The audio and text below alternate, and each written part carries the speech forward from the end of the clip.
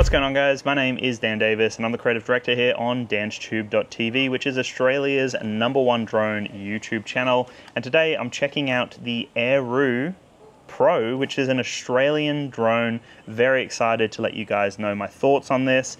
Very keen to see an Australian manufacturer or drone company coming to the field with something very exciting.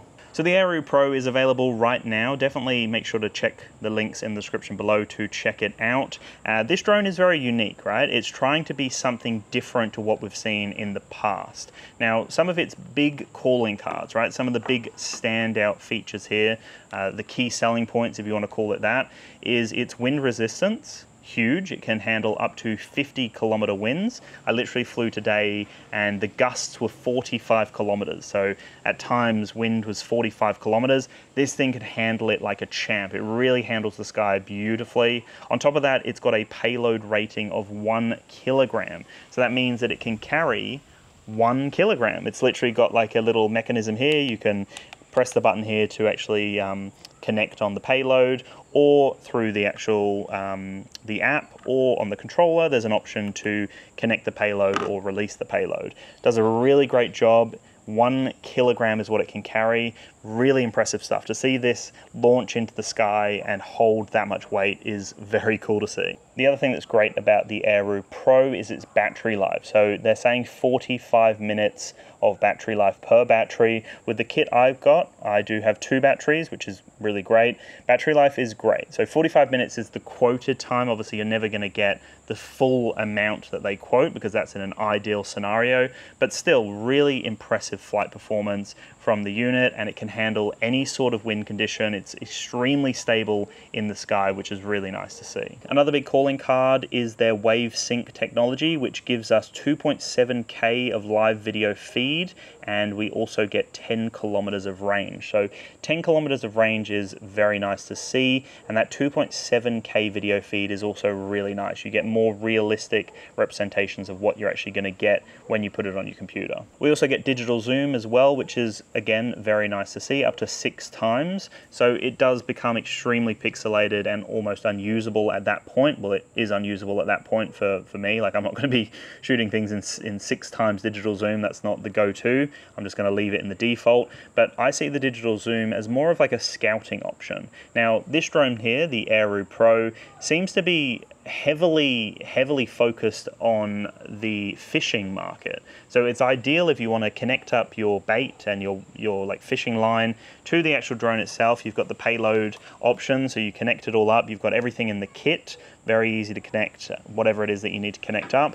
And then the idea would be you would fly the drone out over the ocean and then release the payload, which would be releasing the bait, releasing the fishing line, and then fly the drone back. So in those kind of scenarios, phenomenal because when you're over the open water, wind speeds are normally insane. So to have that 45 minutes of flight time, to have 2.7K video feed, um, and to also have, you know, the, the, 45 minutes is huge. Like 45 minutes of flight time is great, but the 50 kilometer wind speed resistance is also huge when you're over like open water over the ocean. So for the fishing market, this is really cool. So the video and photo quality from the Aeroo Pro is good. It's decent, but it's definitely not the best I've seen. And they're definitely not going for that. Like, this isn't trying to be a cinema drone, but it does have a three axis gimbal. It can capture 4K video, which is really nice to see. The CMOS sensor on it is a 1 over 2.6 inch CMOS sensor. So it's a decent little camera system on it,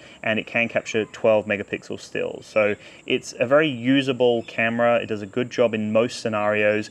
I will say though that Occasionally in auto mode it can look a little bit muddy almost, so I would suggest going into the pro mode and playing around with the colors. You do have a bunch of options for the settings in there, the white balance, the contrast, saturation, sharpness, all that stuff. So you can really tweak the color and what you're getting out of the, the image itself, but I find that in auto occasionally it can be a little bit muddy and if lighting conditions change drastically, then the quality can change, or maybe not the quality, but the color can change, right? So it can kind of shift a little bit. So I would suggest playing around with that in most scenarios. But again, it's usable for most people. And if you're getting it for the payload rating, if you're getting it for fishing, or if you're getting it for payload to deliver something, for example, then it's good for that. I don't know how many people, like in a casual sense, are going to be delivering things with the drone, but definitely for fishing, it makes a lot of sense if you want to be fishing off the land, but you want to take your bait out or your fishing line out really far amazing for that because it's got that awesome wind resistance. It's got the payload rating, so you can carry quite heavy bait if you've got like a large fish on there, for example. Really easy stuff. Another really cool thing about the battery here is that it can handle extreme temperatures. So anywhere from minus 10 Celsius to 40 Celsius the battery is going to be perfectly fine. Now, really hot today, it handled it perfectly well. One thing I was curious about, I guess, is being the black design. As much as I love it, it looks so sleek. Uh, it doesn't fold, so that's how it comes, but it fits perfectly into the bag. Really solid design, but I was curious, like, is the black design of it just going to absorb all the heat and make it really hot, damage the battery or anything like that? I had no issues with it. It does have a fan that kicks in, or it probably has a few fans, but there's one very clear, visible fan here that does kick in and uh, makes a bit of noise as it's trying to disperse the heat. There's a few little um, little slits here to release heat and whatnot. There's little vents everywhere, so it does a really great job of dispersing the heat. And I found that the black design wasn't an issue. It didn't seem to get hot, like definitely wasn't hot to the touch or anything like that. And it was great when it was in direct sunlight. And again, flies phenomenally well. The huge motors on it are, are great, huge propellers on it. It's quite like a heavy duty drone. Like it feels heavy duty when you're holding it, and it definitely handles the sky. I would say that this is probably one of the more stable drones that I've tested. Just it just hovers, it just holds its position in that wind. It does a great job. Doesn't get knocked around too much, um, and it does a really great job. A few things that I would like to see improved. Now the app itself is great, really cool app, and I'll get into some of the features that we have through the app. There are some intelligent flight modes in there. Uh, overall, the app's great, very reliable in most situations. There are a few little issues I'm having though. So one of the biggest issues I'm having is that I have to press the record button multiple times. It won't just start immediately for me. Now it will say like operation error or it will just error out on me, but the amount of times that I'll have to press the record button and make sure that it's recording and it isn't, I have to do it again. Sometimes I have to do it three times before it will actually start recording. That was uh, not the greatest experience for me. Now that didn't happen every single time. Sometimes I'd press it and it records straight away but sometimes it would just error out on me and occasionally it just wouldn't even record. It just wouldn't work for me. So sometimes I'd have to land the drone, power it down, power it back on again. Um, but this didn't happen all the time. Very simple to fix with future software updates, but that's just something to mention because I'm used to something that just works, right? You press the button and it works. It does exactly what you want it to. Now, this wasn't the case with other things. So like with the, the intelligent flight modes, they seem to be very responsive. So the waypoints, for example, very responsive. Every time I'd touch a waypoint, it would add it for me. I could change the, the height of each waypoint, change the focus point. And that was really intuitive and responsive. And when I did the waypoint missions, it was fine. It was flawless in those kind of situations even when I did the uh, the tracking mode. So there's both active track or the the tracking mode, which is like a, a software based tracking mode, and then you also have following. So both of those worked phenomenally well. I was really impressed with them. The follow mode is when it's using the signal from your phone and the controller to track that that signal so I can go completely out of line of sight I can go underneath some trees and it's just going to keep following me that worked flawlessly even the active track which is the software based AI tracking that worked really well I was able to track cars and people and boats perfectly fine, no issues with it at all. But again, occasionally I found that if the drone was moving, it wouldn't record. So I'd have to stop the drone moving and then press the record button. So one of those things that needs to be improved with software.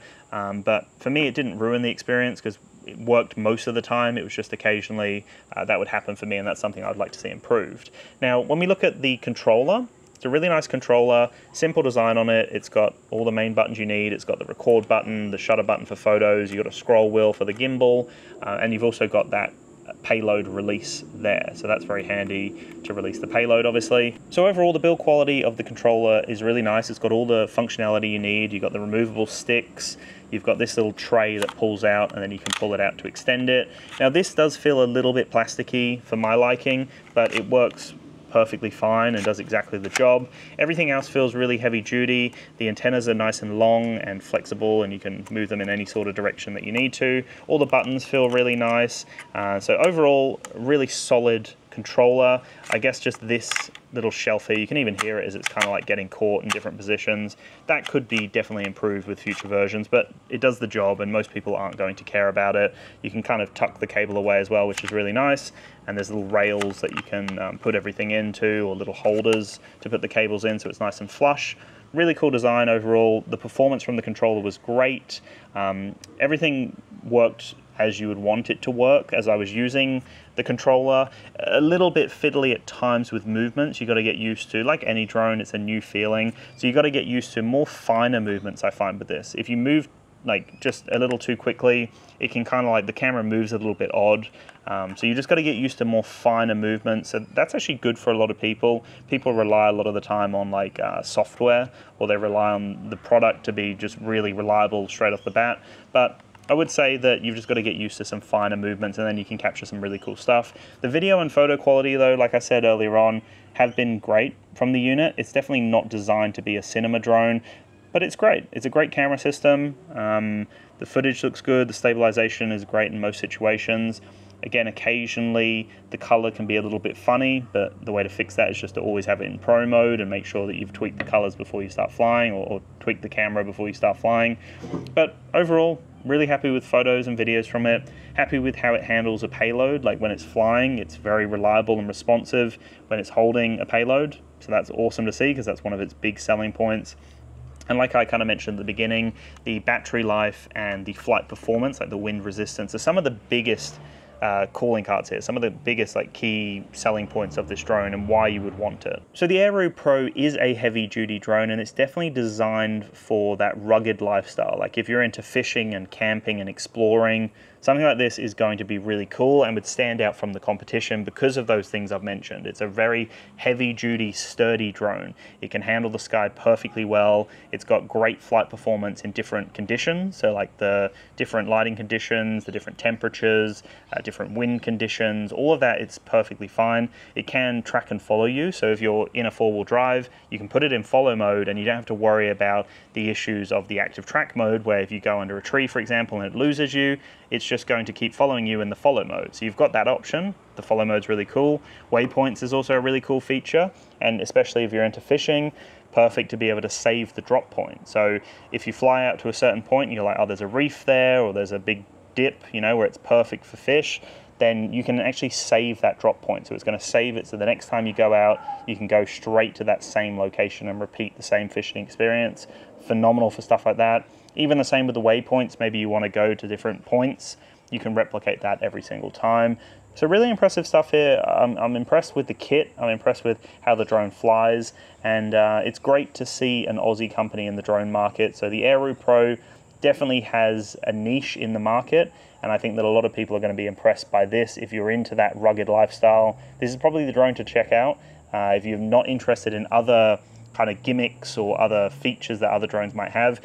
This drone has a core offering and it just does what it says. So check it out. Uh, we'll have those links down below. I appreciate all the support. I'll chat to you in the next one. Peace.